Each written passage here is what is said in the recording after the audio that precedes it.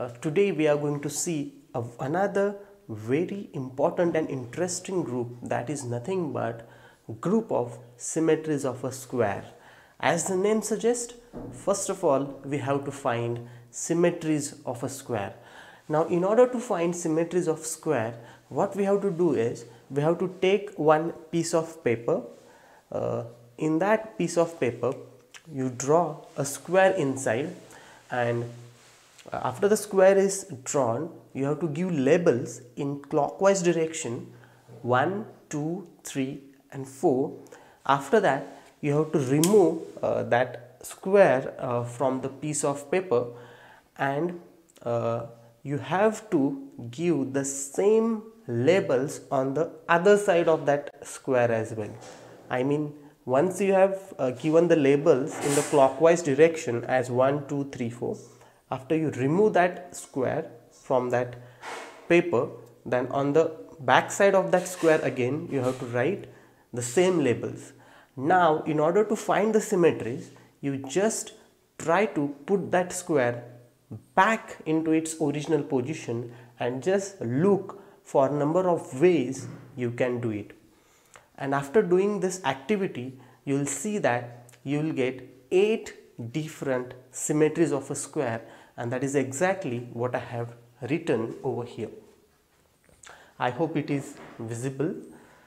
So first of all, uh, you have removed that square from that uh, paper, right? So you can put it as it is back and that is nothing but our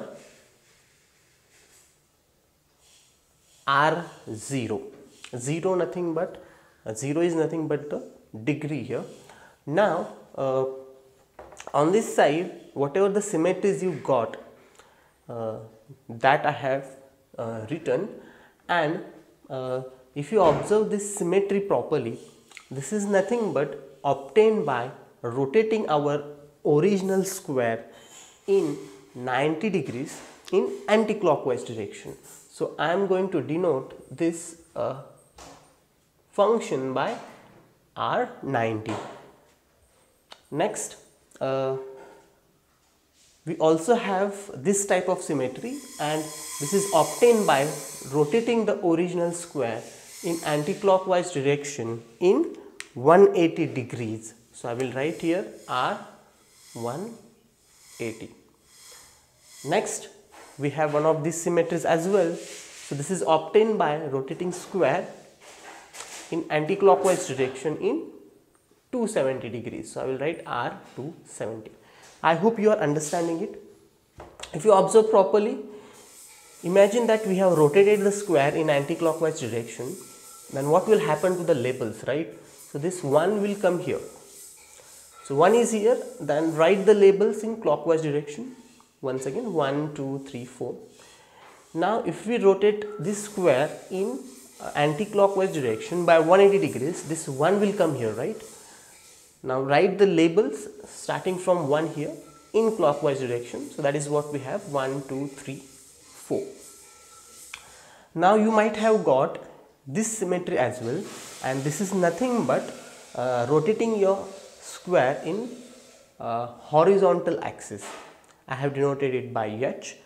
Uh, similarly, you might have got uh, such type of symmetry as well and we got this by rotating our square uh, along the vertical axis. Then at last we will have diagonal flips. So you might have got this symmetry as well. So this is obtained by rotating a square diagonally like this. So after rotating a square diagonally what will happen is this 1 and 3 uh, will remain as it is and the positions of this 2 and 4 will change. So that is what I have written here and this is uh, rotation around the diagonal uh, but the other diagonal. So here this 2 and 4 will be fixed and the position of uh, 3 and 1 will be interchanged. Now uh, in order to show uh, this as a group uh, we are going to take the help of a composition table and by using that composition table we are going to show that this uh, symmetries of a square in fact form a group with respect to composition of function.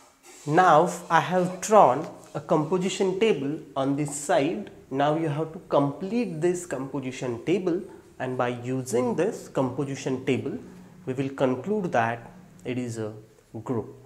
Now as I told earlier these are all functions. Now in order to calculate R0 composition R0 what we have to do? So we have to operate uh, R0 composition R0 this is also a function right. So we have to operate it on square 1 2 3 4 which we have started earlier with on this side right. Now we know R0 means what? The square remains as it is right that is unchanged. So if we operate uh, R0 on this square we will get the same square back. So this will be R0 of 1, 2, 3 and 4.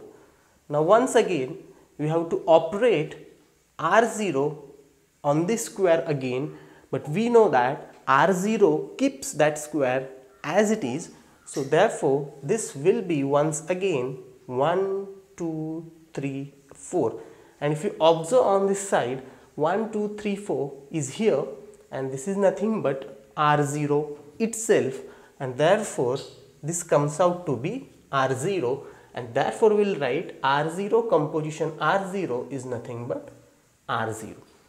Similarly, we have to find R0 composition uh, R90 in order to get this element, right? Remember, first we take element from this side, right? So, R0 composition R90, the element will come here. For example, you have to find this so this is nothing but R 270 composition R 180. So this is how it goes similar as uh, matrices. Now in order to find R0 composition R90 I will do the same thing.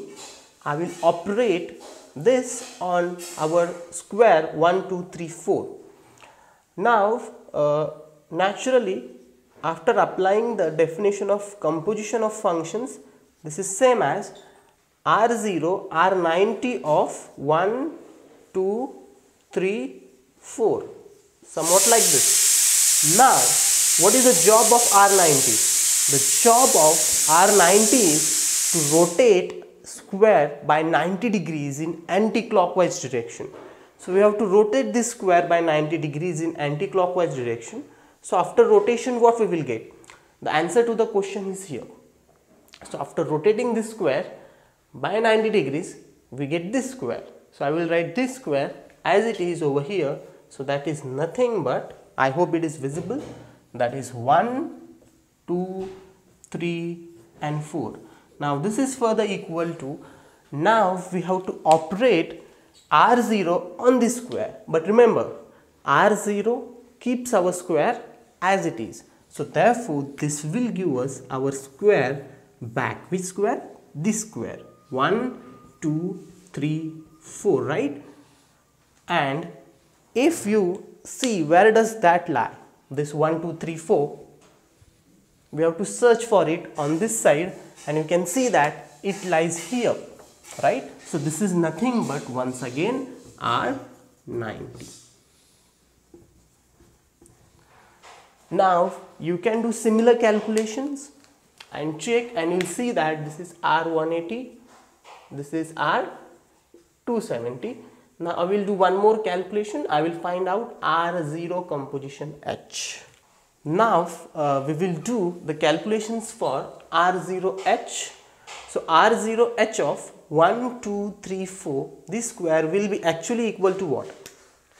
So first of all we have to operate H on this element but after operating H on this element you can see that we get this square right.